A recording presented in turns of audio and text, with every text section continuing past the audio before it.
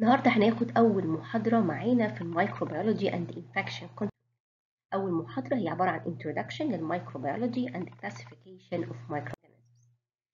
نهاية المحاضرة إن شاء الله هنعرف بعض ال terms أو بعض المصطلحات المتعلقة بال microbiology وكمان هنعرف ال structure of different microorganisms. يعني إيه كلمة microbiology؟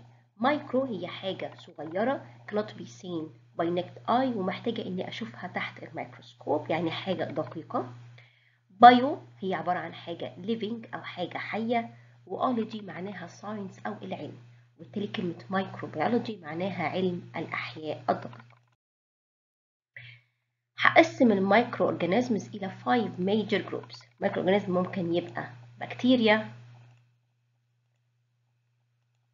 ممكن يبقى fungi أو اللي هي الفطريات ممكن تبقى protozoa أو الأوليات ممكن تبقى viruses اللي هي الفيروسات وأخيرا ممكن تبقى ال algae اللي هي الطحالب يبقى دي الخمس groups بتاعت ال microorganisms أو ال five major groups of microorganisms bacteria fungi protozoa viruses algae عندي كمان طريقة تانية إن ممكن جوه بقى التقسيمة اللي إحنا قلناها ال major groups دي إني أقسم برضو ال microorganism على أساس هل هي فيها خلية ولا ما فيهاش نوع الخلية بتاعتها. هلاقي إن أنا عندي ال microbes ممكن تبقى cellular يعني هي فيها خلية أو acellular كلمة A دي معناها إن هي non يعني ما فيهاش خلية. هقسم ال cellular إلى prokaryotes و eukaryotes. prokaryotes pro هي ال example اللي عندي عليها هي البكتيريا. فيعني بالتالي البكتيريا عندي نوع الخلية بتاعتها prokaryotes وكلمة prokaryotes يعني هي ما فيهاش nucleus ما فيهاش true nucleus أو ما فيهاش نواة حقيقية يعني إيه؟ يعني أنا هلاقي في البكتيريا إن هي عبارة عن single strand من الكروموسوم موجود جوه السيتوبلازم وما فيهوش nuclear membrane ولا أي حاجة خالص ما فيهاش ميتوكوندريا تمام؟ طيب النوع التاني اللي عندي اللي هو ال eukaryotes ال example عندي زي ال fungi protozoa ده هلاقي إن هي فيها nucleus فيها true nucleus يعني هلاقي إن الكروموسوم بتاعها حوالين nuclear membrane وهلاقي كمان هي فيها في بعض الأنواع فيها ميتوكوندريا آخر حاجة عندي بقى اللي هي ال acellular زي ال viruses دي هلاقي أصلا هي عبارة عن nucleic acid حواليه غلاف بروتيني فقط وما فيهاش أي نواة ولا فيها أي organelles تانية. طيب خلينا نبتدي بأول microorganism عندنا اللي هما البكتيريا. البكتيريا دي هي عبارة زي ما اتفقنا عن prokaryotic cell. prokaryotes يعني ما فيهاش نواة حقيقية تمام وبتبقى unicellular يعني وحيدة الخلية. كلمة بكتيريا دي لما باجي أقول على مجموعة أو عدد كبير لكن لو هتكلم على بكتيريا واحدة بس بقول عليها bacterium بيبقى آخرها حرف ال M. عندي ثلاثة shapes يعني عايزين نشوف إيه هي الأشكال اللي بتبقى موجود فيها البكتيريا. عندي 3 basic shapes ثلاث أشكال أساسية. ممكن البكتيريا تبقى عبارة عن rod shape وإن هي تبقى rod shape اللي هي شكل العصوي أو شكل العصاية وفي الحالة دي بسميها bacilli ممكن البكتيريا تبقى spherical أو كروية تبقى شكل الكورة كده وفي الحالة دي بسميها cocci وآخر حاجة البكتيريا ممكن تبقى spiral أو لولبية أو شكل الحلزوني وفي الحالة دي بقول عليها إن هي إيه؟ spirilla تمام؟ طب إزاي البكتيريا يحصل لها reproduction بيحصل للبكتيريا reproduction بحاجة اسمها ال binary fission أو الانشطار الثنائي. معناها إن أنا بيبقى عندي mother cell أو parent cell parent cell دي الكروموسوم اللي جواها بيبتدي بعد كده يديني اتنين كروموسوم يبقى هو كان كروموسوم واحد يبتدي جوه ال parent cell يتقسم إلى اتنين كروموسوم وبعد كده يبتدي يتكون عندي ال wall تبقى موجودة في النص من الخلية وتتقسم بعد كده ال parent cell إلى اتنين daughter cell. ومعنى كده إن كل parent cell هتديني اتنين والاتنين هيديني أربعة الأربعة يدوني تمانية بكتيريا. معناها إن البكتيريا بيحصل لها growing في ال number ومش في ال size يعني البكتيريا بتزيد في العدد وما بتزيدش في الحجم بتاعها. ده برضو كده animation عن طريقة ال binary fission عبارة عن parent cell يتقسم الكروموسوم تتكون ال wall فال one parent cell يدوني اتنين daughter cell ليهم نفس حجم ال parent cell طب كده عرفنا الأشكال البكتيريا عرفنا كمان إزاي يحصل لها reproduction في binary fission هنشوف إيه هو ال structure of bacteria ده ال main structures الموجودة في البكتيريا. كمان هلاقي إن في أجزاء منها بتبقى accessory يعني مش موجودة في كل أنواع البكتيريا وفي أجزاء منها هتبقى أساسية وموجودة في كل الأنواع. خلينا نعرفهم الأول كده من بره لجوه from outer side to inner side هيبقى عندي flagellum عندي ال pilus capsule cell wall plasma membrane ال nucleoid ribosome وال plasmid هناخد نوع نوع من ال من ال من ال structures دي وهنتكلم عنهم بالتفصيل. أول حاجة ال filaments اللي هي موجودة على ال surface بتاع البكتيريا ممكن ألاقي flagellum ده لو هي single بقول عليها flagellum ولو هي plural بقول عليها flagella flagella دي بتبقى عبارة عن جزء long كده اللي هو السوط بتاع البكتيريا بيبقى جزء طويل ومسؤول عن ال motility أو الحركة. بالتالي أتوقع إن البكتيريا اللي فيها flagellum هتبقى motile bacteria أو بكتيريا متحركة. تاني filament عندي اللي هي ال pilus دي لو هي واحدة بس بقول عليها pilus لو هي بتبقى عبارة عن شورت كده لو مجموعة بقول عليها إيه؟ pili بتبقى short pili بتبقى موجودة along side أو حوالين البكتيريا كلها وتبقى مسؤولة عن ال attachment أو ال adsorption أو إن هي البكتيريا تلزق في ال host surface مسؤولة إن هي تساعد البكتيريا في إن هي تلتصق أو تحصل لها attach بال host surface طيب هنبتدي بقى كمان برضو تاني من بره لجوه خلصنا ال filaments اللي هي سواء ال flagella أو ال pili. هناخد بقى بعد كده حاجة تانية حاجة اسمها ال cell wall أو الجدار الخلوي بيبقى موجود بره البكتيريا بيبقى عبارة عن thick layer ال cell wall مهم جدا في إن هو يديني ال rigidity أو يديني صلابة للبكتيريا وكمان هيحدد ال shape بتاعها. هو المسؤول إن هي يخليها bacilli أو cocci أو spiral حاجة كمان بقى في ال cell wall مهمه قوي إن ال cell wall ده بيختلف من بكتيريا للتانية. يعني هقسم البكتيريا على أساس ال cell wall عندي لحاجه اسمها gram positive و gram negative ال gram دي عبارة عن صبغة الجرام أو ال gram stain بتديني الألوان مختلفة على حسب نوع ال cell wall بتاع البكتيريا. تاني حاجة عندي ال plasma membrane دي هتيجي بعد ال cell wall وهتبقى thin layer وهنعرف إيه هي الفوائد بتاعتها. في بعض أنواع البكتيريا زي المايكوبلازما دي ما بيبقاش فيها أصلا cell wall وبالتالي هي ما بتتصبغش أصلا بصبغه الجرام وبيبقى ساعتها ال plasma membrane هو اللي مسؤول إن هو يديها ال shape بتاعها. في بعض أنواع البكتيريا بيبقى عندها طبقة زيادة بقى third layer بره ال cell wall بقول عليها ال capsule. ال capsule دي عبارة عن mucus layer متكونة من polysaccharide بتبقى بتساعد البكتيريا إن هي تهرب من الخلايا الملتهمه اللي موجودة في الجهاز المناعي بتاع الجسم أو ال phagocyte وبالتالي وجود الكبسول ده هيدي البكتيريا ميزة إن هي تقدر تهرب من الجهاز المناعي بتاع البني آدم. الكبسول دي مش بتبقى موجودة في كل أنواع البكتيريا وبالتالي تعتبر من ال accessory parts لأن مش كل أنواع البكتيريا فيها كبسول. طيب ال plasma membrane بقى ده إيه هو الوظيفة بتاعته؟ إحنا اتفقنا إن هو عبارة عن thin layer هيجي بعد ال cell wall هيعمل لي ثلاث حاجات مهمين جدا.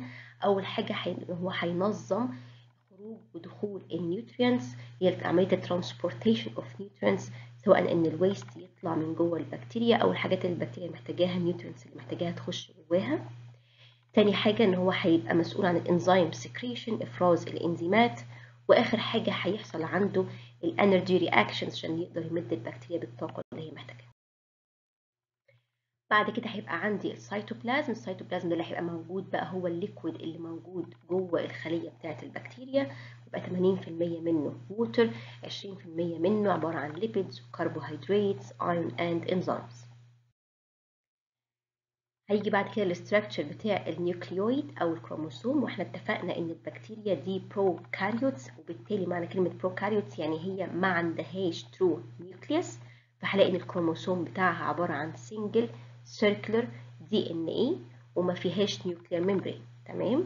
يبقى هي عبارة كروموسوم عن DNA بعد كده هيجي ال plasmid plasmid ده accessory part يعني بعض أنواع البكتيريا هيبقى فيها بلازميد والبعض التاني لأ.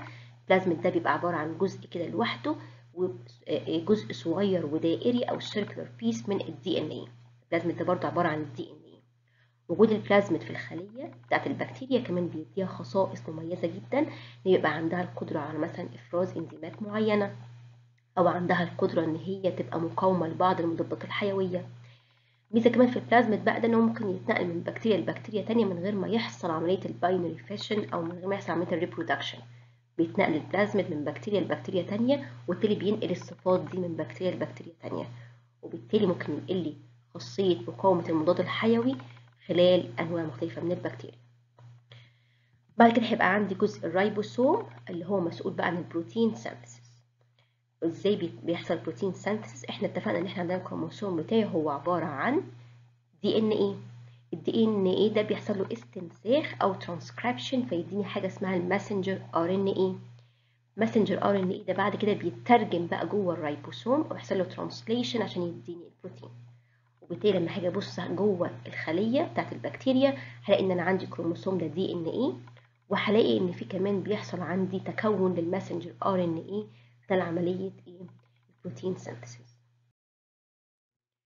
آخر جزء بقى عندي في البكتيريا في حاجة اسمها bacteria spores أو بقول عليها ال endospores. بقول عليها endospores إن هي بتتكون جوه البكتيريا جوه خلية البكتيريا نفسها. وال endospores دي بتبقى عبارة عن inactive أو dormant form من البكتيريا. يعني هي ما هياش reproduction stage ما هياش عملية تكاثر لا دي عملية بيحصل فيها فقط حماية أو preservation للبكتيريا طب إمتى البكتيريا تبتدي تحفظ نفسها أو تحمي نفسها؟ أول ما تلاقي إن هي بقت في environment أو في بيئة غير مناسبة يبقى هي عايزة مجرد إن هي بس تعيش. مش عايزة بقى تك... تتكاثر وتحصل لها reproduction والكلام ده كله بس محتاجة إن هي to survive. وعشان ت survive دي بتعمل endospores طب إيه هي البيئة الغير مناسبة؟ ممكن لو في جفاف drying في high temperature حرارة عالية في bactericidal agents يعني في مواد ممكن هي تقضي على البكتيريا ultraviolet light أو nutritional deprivation يعني يبقى عندي في نقص في المواد الغذائية. ساعتها البكتيريا يبتدي الكروموسوم بتاعها يتقسم جواها يبتدي يتكون عندي ال spore وبعد كده خلية البكتيريا كلها تتكسر ويفضل عندي ال spore دي بيبقى ليها rigid structure وعنده القدرة إن هو يتحمل الظروف الصعبة اللي موجودة فيها البكتيريا. بيتحمل لحد إمتى إلى أن يجد إن الظروف اللي بقت حواليه أو البيئة اللي حواليه بقت ساعتها مناسبة يقدر بعد كده يكبر تاني ويحصل له germination ويرجع تاني يديني الخلية بتاعت البكتيريا. طب إحنا كده خلصنا البكتيريا هنتكلم بعد كده على تاني microorganism معانا اللي هم الفيروس ال viruses دي هم من أصغر ال microorganisms اللي موجودة وبيبقى حجمها من 10 إلى 300 نانومتر. شايفين ده أهو حجم الفيروس بالنسبة لحجم البكتيريا عامل إزاي. وبالتالي الحجم الصغير قوي ده أنا كمان مش هقدر أشوفه بالميكروسكوب العادي أنا محتاجة electron microscope أو ميكروسكوب الكتروني عشان أقدر أشوف ال viruses. إيه هي ال properties أو هي الخصائص بتاعة الفيروس؟ إحنا زي ما اتفقنا إن هو ultramicroscopic صغير جدا ومحتاج electron microscope الفيروس هيبقى جواه هو عبارة عن ال structure بتاعه عبارة عن nucleic acid ده هو الجينوم بتاعه. يبقى بيتكون من دي ان اي أو ار ان اي لكن البكتيريا كان عندي ال nucleic acid أو الجينوم الأساسي بتاعها DNA وبيستنسخ إلى messenger RNA اللي بيكون بعد كده بروتين الفيروس لا. الفيروس هو ال nucleic acid بتاعه يا إما DNA فقط يا إما RNA فقط. بقى بعد كده محاط بغلاف بروتيني بقول عليه ال capsid ده غلاف بروتيني وأخيرا بعض ال viruses بيبقى عليها كمان غلاف دهني بقول عليه ال envelope يبقى الفيروس هو عبارة عن nucleic acid سواء DNA أو RNA محاط بغلاف بروتيني اللي هو ال capsid. وفي بعض الأنواع من ال viruses بيبقى كمان محاطة بغلاف دهني اللي هو ال envelope ال viruses ما عندهاش القدرة إن هي تعمل energy production ولا عندها protein synthesis organism يعني ما لقيتش عندها رايبوسوم ولا اتكلمنا عن رايبوسوم ولا أي حاجة خالص. وبالتالي اعتبروا ال viruses إن هي non living أو not living organism وعشان هي not living طب هي يحصل لها reproduction إزاي؟ لأن إن هي عبارة عن obligate intracellular parasite. يعني هي محتاجة لازم خلية حية تخش جواها علشان تقدر تعمل reproduction يبقى الفيروس ما بيقدرش يعمل replication لوحده ودايما محتاج host cell أو محتاج عائل أو محتاج مضيف يدخل جواه أو living cell عشان يقدر يعمل replication بتاعه. إزاي بيحصل replication بتاع الفيروس؟ أول حاجة إن دي عندي ال cell دي, دي عبارة عن living cell بتاعه ال host بيجي الفيروس يمسك فيها يمسك في الخلية دي ويخش جواها يتفصل ال nucleic acid بتاعه سواء DNA أو RNA عن الغلاف البروتيني اللي هو ال capsid وساعتها ال viral genome اللي هو سواء DNA أو RNA بيجبر الخلية الحية ويسخرها إن هي تعمل كل ال components بتاعته. تشتغل لحسابه هو بس. وبالتالي هلاقي بعد كده هو داخل فيروس واحد ابتدى يتكون nucleic acid كتير ابتدى يتكون capsid كتير ابتدى يتكون برضه spikes بتاعت الفيروس بتاعي. وبعدين يحصل release ويطلع الفيروس ده من جوه الخلية الحية ويدمرها وهو طالع. الفيروس ده بيبقى داخل فيروس واحد وبيطلع viruses أو progeny كتيرة جدا بعد كده تنتشر في الجسم كله. عملية إن كل nucleic acid يخش جوه ال capsid دي بسميها ال assembly وانه بيحصل له assembly أو assemble. ده animation برضو يبين عملية ال virus replication إن هو بيجي الفيروس يخش جوه ال living cell يجبر خلية ال cell دي أو يجبر الخليه إن هي تكون ال components بتاعته. ممكن كمان في بعض الأحيان ياخد جزء من الغلاف بتاع أو ال cell wall بتاع الخلية الحية ويطلع بعد كده يحصل له release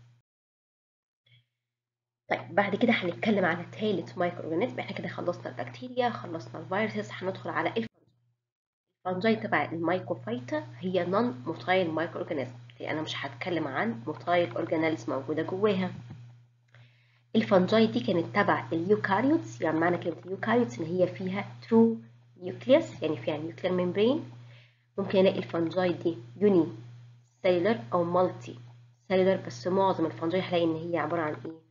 multicellular طيب ال fungi كمان بيبقى فيها rigid cell wall متكونة حواليها بتديها برضو definite shape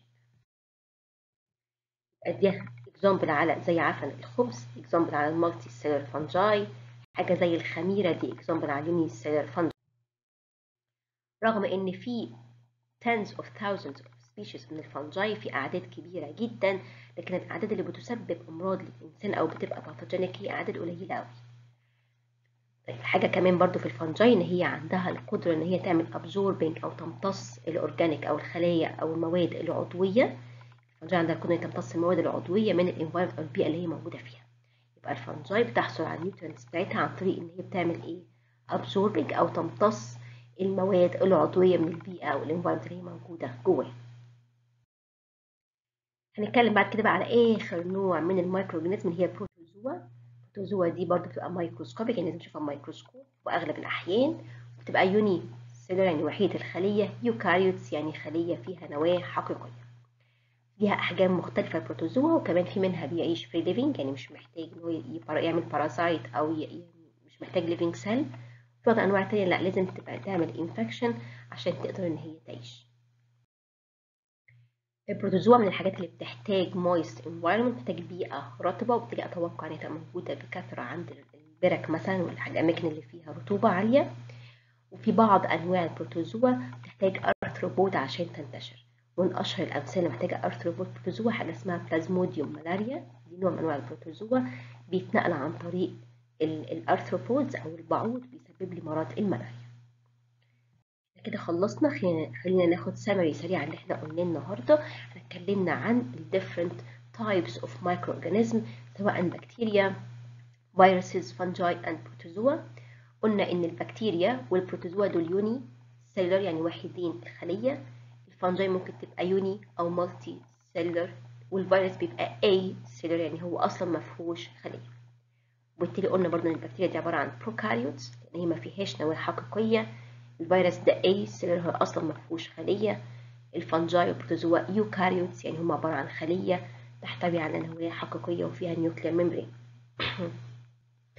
عملية ال replication في ال viruses بقى بتبقى بتتم عن طريق حاجة اسمها binary fission هو الانشطار الثنائي إن كل خلية من البكتيريا بتنشطر أو بتنقسم تديني اتنين 2 daughter cell كل اتنين بيدوني أربعة أربعة تمانية وبهذا الشكل تكتر البكتيريا البكتيريا بتزيد في ال number مش في ال size الفيروس ما بيقدرش لوحده خالص يعمل replication عشان كده إحنا قلنا الفيروس ده not living أو non living organism.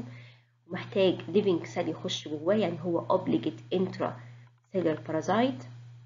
بيدخل جوه الخلية الحية يجبرها ان يتكون ال components بتاعته. وبعد كده بيعمل حاجة اسمها assembly يدخل كل جينوم جوه الكبسل بتاعه وبيحصل بعد كده ال release ال fungi protozoa بيحصل لهم replication على حاجة اسمها sexual or asexual reproduction. بالنسبة لل nucleic acid أنا هلاقي في البكتيريا وال fungi وال protozoa الكروموسوم الأساسي بتاعهم هو بيتكون من ال DNA ده الجينوم بتاعهم. وهلاقي كمان ال DNA ده بيحصل له استنساخ ويديني بعد كده messenger RNA اللي بعد كده بيديني أو بيحصل له ترجمة translation إلى بروتين لكن الفيروس مختلف عنهم الفيروس هيبقى ال nucleic acid بتاعه يا إما دي إن إيه أو ار ان إيه ومش هلاقي أبدا الاتنين جوه الفيروس. do cânion.